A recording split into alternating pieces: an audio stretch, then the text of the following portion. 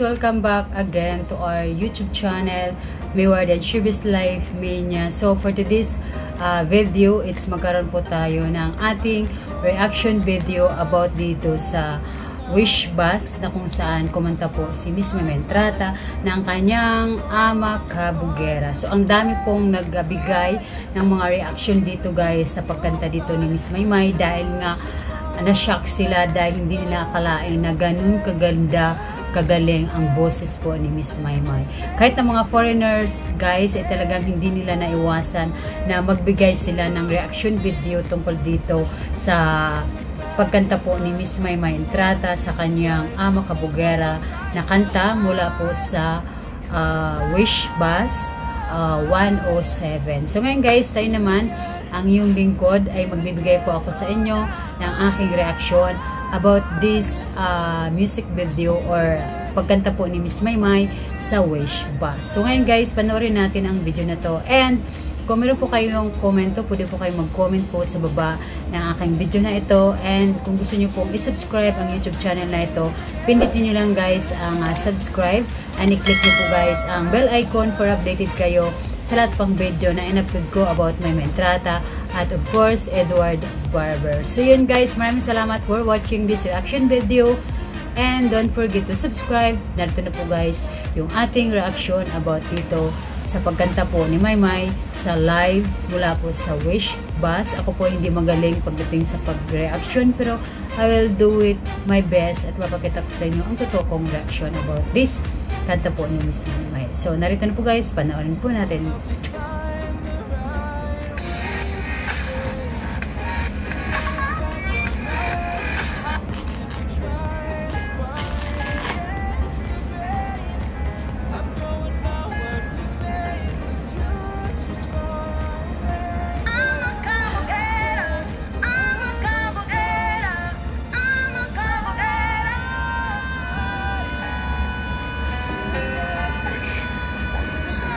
Wow! Napakagaling talaga guys. Ayun guys, bumipikit-pikit pa itong si Maymay. Feel na feel niya talaga guys yung uh, pagkanta dito sa Wish Bus. So maglagay tayo guys ng microphone natin para marinig niyo po guys ang aking boses. Kung kailangan tumabay sa puso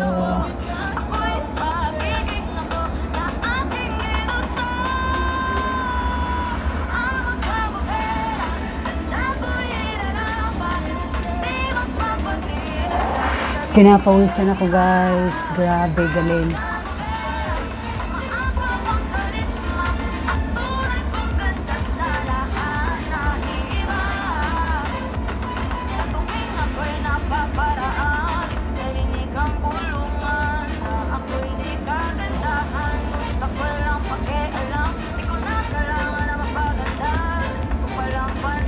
Maraming nagko-comment dito, dito guys dahil nga pumipikit daw si Miss Maymay habang kinakanta niya kasi nafe-feel niya guys eh, nararam, nararamdaman natin na talagang ramdam na ramdam ni Maymay yung kanyang kanta kasi pumipikit talaga siya.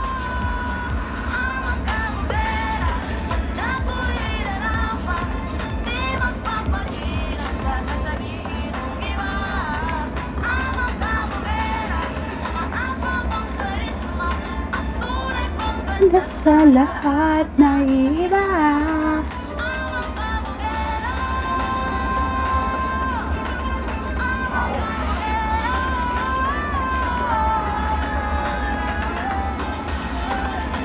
Gumaganyan-ganyan pa siya guys. Eh.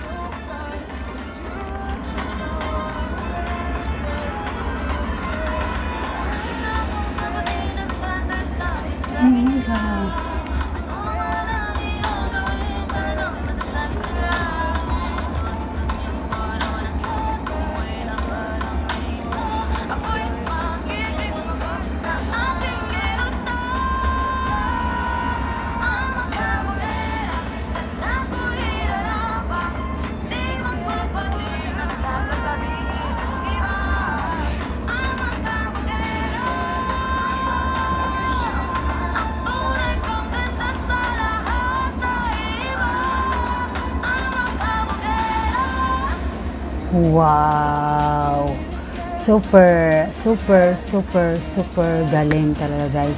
itong pagkanta po ni Miss Maymay Entrata. So, ang dami guys, uh, tawag dito guys, ang daming nagbibigay ng reaction dito sa pagkanta po ni Miss Maymay Entrata. Sobrang, uh, kumbaga, sobrang daming uh, napahanga guys. Pati na yung mga foreigner na, na nag-react po dito kay Miss Maymay. Kahit hindi nila kilala si Maymay, kahit hindi familiar ang pangalan nila sa lugar nila dahil nga si Maymay is Pilipina and sila is a foreigner.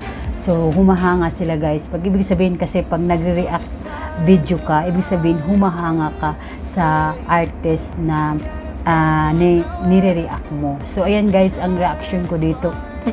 Wow talaga. Mapabawaw ka. Hindi mo akalain na isang Maymay Entrata uh, napakasimple at magaling palang bumirit. At pinatunayan nga ni Maymay na kayang-kaya niyang makipagsabayan sa lahat ng mga singer sa kapamilya or sa kapuso man. So ayan guys, napanood natin yung ating reaction video in this video.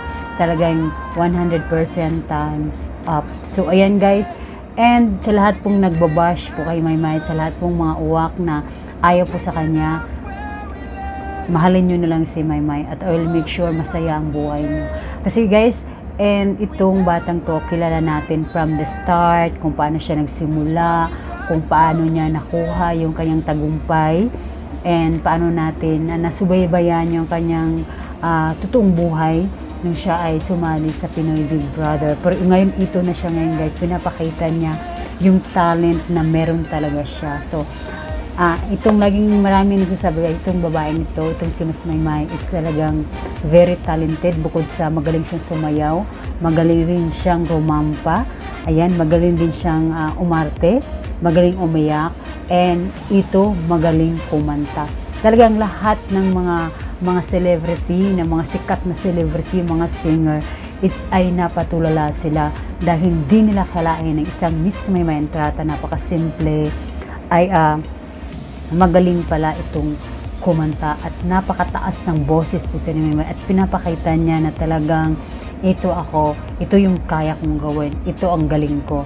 Ayan, ipinapakita niya sa lahat ng kanyang mga fans na may may is may may entrata. So, hindi niya kailangan gumamit ng malalaking pangalan sa showbiz para siya sumikat dahil siya mismo ay gumawa siya ng sarili niyang pangalan sa mundo ng showbiz. At ito na nga si Miss Maymay. And abangan po natin guys ang kanyang uh, digital concert. It's November 27. Mapanood po natin yan. And sana supportahan natin si Miss Maymay Entrata. So yun lang guys ang aking reaction video for today. Kung meron po kayong uh, comments, opinion, and reaction, pwede po kayong mag-comment po sa baba ng aking video na ito. Maraming salamat guys sa inyong lahat at of course, inibitahan ko po kayong mag-subscribe kayo sa aking YouTube channel na another channel na naka-flash po sa inyong screen. Ayan, please guys, subscribe my YouTube channel. May another YouTube channel guys and maraming salamat and give me a time and chance na mapupunta tayo sa uh, ah, 1K. So ayan guys, maraming maraming salamat guys and Ayan, malapit na tayo mag 15k guys. And ayan, sana supportahan nyo ako dito sa aking journey na maging isang vlogger about po kay Miss Mayma Entrata. Malapit na po tayo mag 15k guys. Sana supportahan nyo po yung aking channel na ito para po sa inyong lahat. Yun guys and magandang gabi po sa inyong lahat. And kung meron po kayong comments, reaction at opinion na kong sinasabi, just comment down below. Maraming salamat guys and don't forget to subscribe. May Warden Showbiz Life. May magandang gabi po sa inyong lahat. Bye guys!